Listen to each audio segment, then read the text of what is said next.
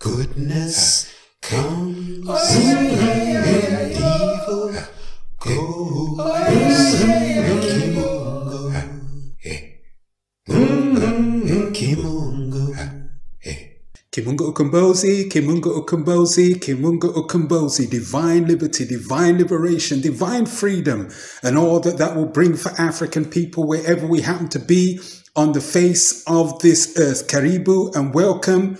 My name is Kwende, and today we're going to get into another important subject area, and that subject is celebrating your African family of oneness. The Creator Supreme has gifted the African with the ability to come together in oneness, to create life, and the relationships that are established make real the African family of oneness, which is actually uh, a unit that is central in the sacred universe, a unit that is uh, powerful and a unit that carries the features of what it means to have nation. It's the microcosm of nationhood. Each of the members are steeped in, groomed in, and express living knowingness of the self so that it can optimally function. It can optimally develop, optimally grow, and, and fulfill its maximum potential and maximum capability. It is where building can take place. It is where uh, nurturing can take place. It is where cultivation can take place. It is where security can be effected. Unfortunately, in recent times, the African family has been set upon by others that mean the African ill. The attempt to strip the African of living knowingness of self is one of the key vices that has been used in that effort. As a result, survival units have come to the fore in replacement of the natural and optimally functioning and flourishing African family. And the reason why they are survival units is because not only is the living knowingness of self lacking, but you might not see African manhood represented. You might not see African womanhood represented amongst other uh, things. And at worst, all kinds of devastation and destruction, chaos and disorder can ensue because of dire conditions that the African has then been hurled into. But fortunately, African souls are rejuvenating themselves, re energizing themselves, re educating themselves, lifting themselves up in the living knowingness of who and what they really are, and establishing true family units. As African men grow in African manhood, an African woman grows in African womanhood, and the uh, and the young ones that blossom and grow as a result are wholesome and progressive.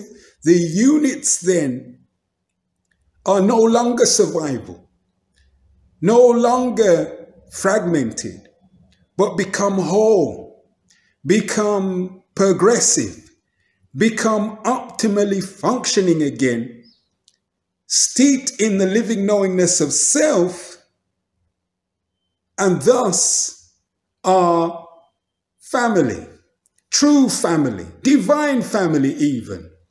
And this is through all year round effort, all year round cultivation, all year round growth, all year round development, self determined by the African him or herself.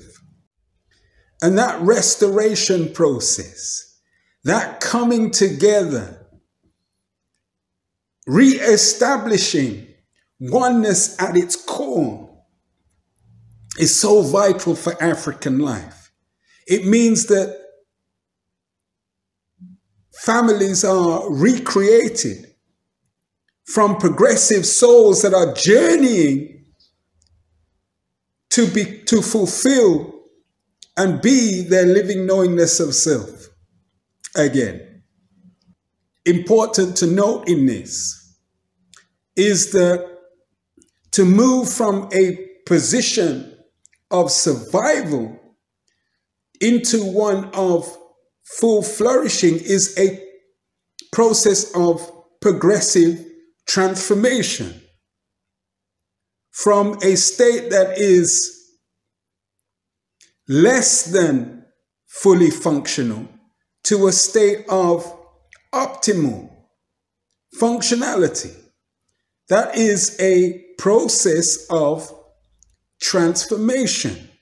And in that, the African must again define what African family is not just uh, an intellectual knowing, not just an uh, theoretical knowing, but a living knowingness of what familyhood is. And to make that real in their lives. And if all of the members of, the, uh, of an African family know who and what they are, mission for ascension, harmonize with each other, and progressively build and develop in nationhood, then we have victorious living.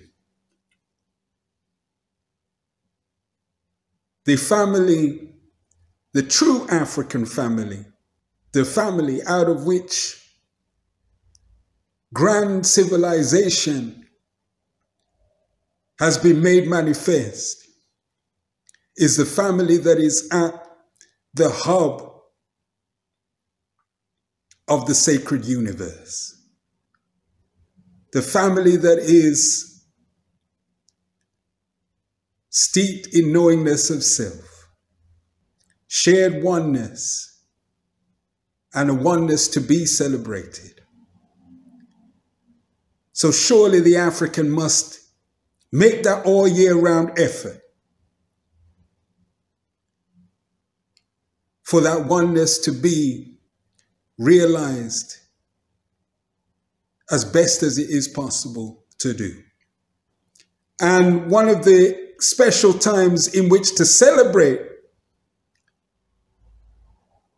that effort is during the uh, celebration of Kwanzaa, which takes place on the from the 26th of December through to the 1st of January. Seven days to highlight and be thankful for all of the glorious achievement to re-establish African family of oneness.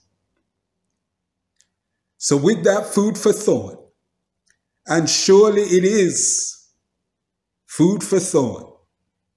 Kimunga Ukombozi, Kimunga Ukombozi, Kimunga Ukombozi, divine liberty, divine liberation, divine freedom, and all that that will bring for African people wherever we happen to be on the face of this earth.